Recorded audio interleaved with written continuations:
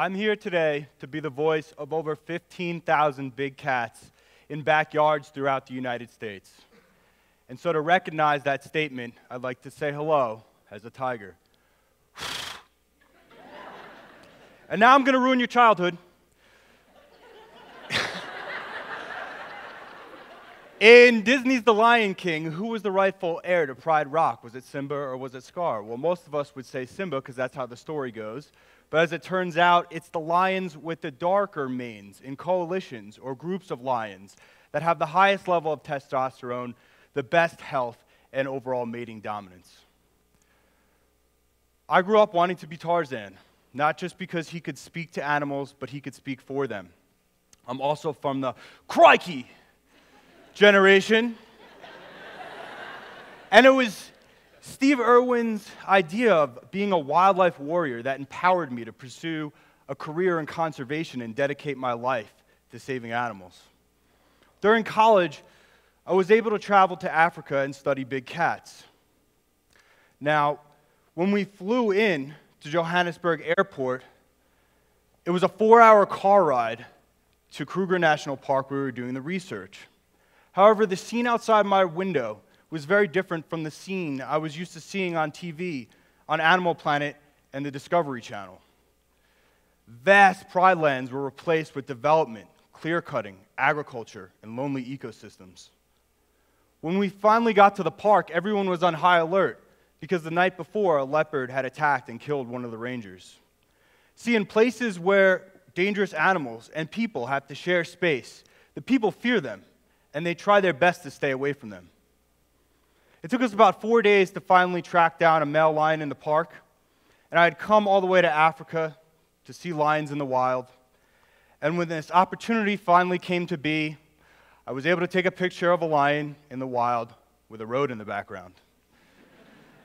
and so, this story and this photograph represents our need for big cat conservation in the wild. In fact, of over 30 subspecies of big cats on this planet, over 80% are endangered or critically endangered, with less than 250 individuals left on the planet. So I had walked the path of a wildlife warrior. I came back to the United States and I was determined to focus my career on big cat conservation. Reflecting back on what the people of Africa had told me, I knew that working with them was going to be very dangerous. And I decided it would be in my best interest to spend time working with them in captivity so I could better learn to read and understand their behavior. And it was this decision that forever changed my life and my view on the world. When I first arrived from my six month internship at Turpentine Creek, a big cat sanctuary in Eureka Springs, Arkansas, I was so excited to be surrounded by so many big cats that I never actually took the time to think about where these animals could have came from or why they were here in the United States. That is, until I started reading their background stories. This is Brody. This is a much more aesthetic picture of a lion, but as all the botanists in the room probably already noticed, he's surrounded by black oak leaves, a tree species native to eastern United States. Brody was bought for $300, cheaper than a cell phone. He was bought by a family with children and brought home to a residential neighborhood and kept in their backyard as a pet until he was too dangerous and too big to be taken care of. This is India. Here in Colorado, we love the outdoors. But what would you do if you were in Rocky Mountain National Park and you were hiking with your family or friends and all of a sudden a tiger walked out of the woods? That seems pretty crazy, right? But that's exactly what India's owner did when he could no longer take care of her, he released her into Buffalo National Forest in Arkansas. But this is nothing to what happened just 10 years ago when a man let 30 of his pet lions and tigers out in what is known as the Zanesville Massacre. And it got this name from the police officers that responded to the scene because they had never been trained to deal with exotic animals and they were forced to euthanize them all. Not only is law enforcement ill equipped to deal with exotics, but we have no idea of the current threat to public safety. Think about it. An emergency room form has a box to check for a car accident, it has a box to check for a heart attack, it even has a box to check for bit by a house cat. It has no box to check for mauled by a tiger. Lana's owners understood the dangers of owning a pet tiger, but they decided to declaw her, which is another false justification of having a safe pet tiger. They're meant to walk on their toes. It's what makes them ambush hunters. It's the same thing as sneaking into the kitchen to steal from the cookie jar. So, when you physically change a big cat and remove their first digit in declawing them, you actually force them to walk flat footed and spend the rest of their lives with arthritis. And the big thing here is that it's not the claws, but the jaws that can snap our necks like a pretzel. The internet knows this gentleman right here as Kenny, the Down syndrome white tiger. We just knew him as Kenny because tigers can't have Down syndrome. Thanks, internet. so, but the reason why he looks like this, and the majority of the cats that we deal with in the US look like this, is because of inbreeding. So, if a tiger cub is the product, then the breeder supplies the market demand. And just like anything else in the market, the rarer something is, the more valuable something is. So you're a breeder and you start off with mom and dad. You breed them together and they produce a rare and more valuable litter of white tiger cubs. It is much more economically advantageous for the breeder to wait for these cubs to grow to sexual maturity and then either mate them together or mate them with their parents to increase the frequency of getting that more, va- that more valuable product. They'll continue to inbreed relatives together to create unnatural and exotic color morphs, such as the snow white white tiger and the golden tabby orange behind me. Neither of which would survive in the wild because the tiger would no longer be camouflaged from its prey.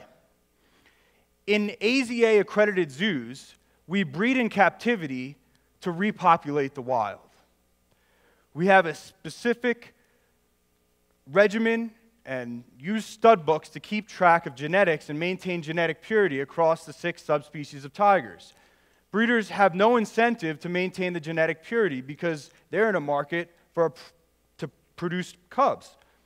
And so, what winds up happening is the breeders mix the subspecies together in combination with the detrimental genetics from inbreeding, and they've created mutts that have zero conservation value and cannot be reintroduced to the wild and are actually politically recognized as the American tiger. In India, where the last 300 Asiatic lions are on, left on the planet, um, they used to historically share uh, this home range with the Bengal tiger, but the two species never mated. Breeders have capitalized the idea of creating a half lion, half tiger known to Napoleon Dynamite as the liger for its mystical and magical powers into a real thing. This is Karma. She's a liger. She's completely man made. Breeders made a, a, lion and a tiger together, and because of that, she has more health issues than any other feline in the animal kingdom. This all is able to occur because there are no federal laws against owning average citizens like you and I from owning a big cat, from owning a lion, from owning a tiger or a bear. And I know what you're thinking oh my. See, each state is responsible for independently regulating and enforcing rules on exotic ownership. But even in states where it is illegal, the trade still exists and ownership is not monitored. Just a couple of years ago, NYPD responded to an apartment in Harlem with a full grown tiger in it. And as I recently discovered, growing up on Long Island, I was actually one town away from a man that owned three full grown African leopards in his own backyard. To, per- to put things into perspective, 50 years ago, there were 50,000 tigers in the wild, and last year there were 4,000 tigers left in the wild. But right here in the United States, it is estimated that there are between 5 and 7,000 tigers, with only 6% in zoos and 12% in sanctuaries. So, where are all the other tigers? And if we can find them, where are they going to go? Big cat sanctuaries like Turpentine Creek rescue privately owned big cats and give them a second chance. They spend 365 days a year dedicating their entire lives to caring for these animals, to taking care of all the lifelong health issues associated with inbreeding, and to build and maintain them their own habitat so that they can spend the rest of their lives like a wild animal and not like a pet. Providing for big cats, or how we like to say it, working for big cats, means that you have no holidays and you have no weekends or day off because they don't understand that concept. It also means that you work outside in every single weather condition imaginable. So I encourage you the next time it snows and you're complaining about going outside and shoveling to imagine what it's like to shovel out 30 enclosures full of snow that a 300 pound cat has been walking and peeing on all day because it takes a very long time. But we would do things like this with a smile. See, I learned something working at a sanctuary. It's unlike any other business. See, every single cent and every single dollar directly contributes to giving these animals a second chance at life. When you first rescue a big cat, they're fearful of humans and often aggressive. But when you let them out into a habitat, and for the first time, they feel grass, and for the first time, they feel space and freedom, they change. They change back into a confident, fearless king of the jungle. And in the sanctuary world, this changes us too as people because we directly contributed to this transformation. And we didn't do it by supporting false conservation organizations like roadside zoos. We didn't do it by taking a tiger selfie. And we didn't do it by playing with cubs. We did it by giving a tiger a life that it deserves. Your consumer decisions are extremely important to impact the exotic pet trade. Any zoo that you are contributing to or visiting, and therefore giving them your dollars, should be accredited by the associations of zoos and aquariums. And any sanctuary should be accredited by the Global Federation of Animal Sanctuaries.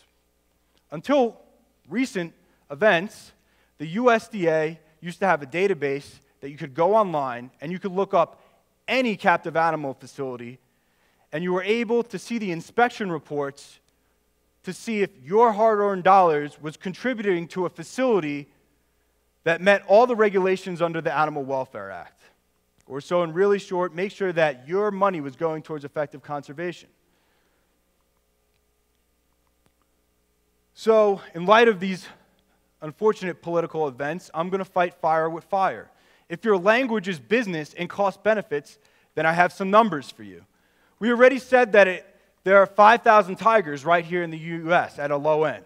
It costs $10,000 annually to take care of a tiger each year. This means that the exotic pet trade in tigers alone is costing tiger conservation $50 million a year.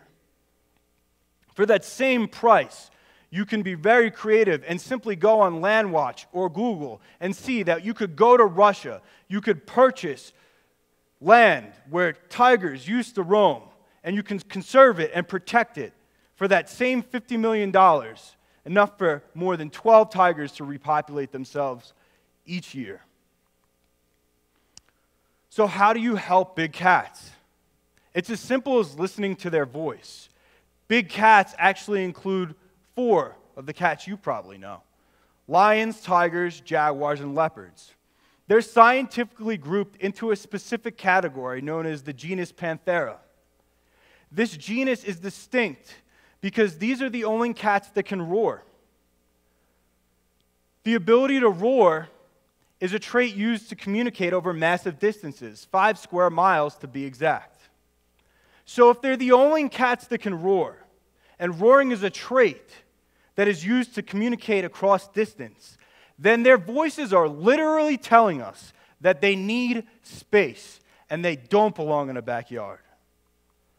So, my big idea worth spreading here is that we can adequately address the exotic pet trade here in the United States, that we can come together and we can solve this issue so that we can reallocate our time and our money to effective and efficient conservation in the wild, so that my children or my grandchildren or children seven generations to come from now don't have to go to Africa and take a picture of a lion in the wild with a road in the background.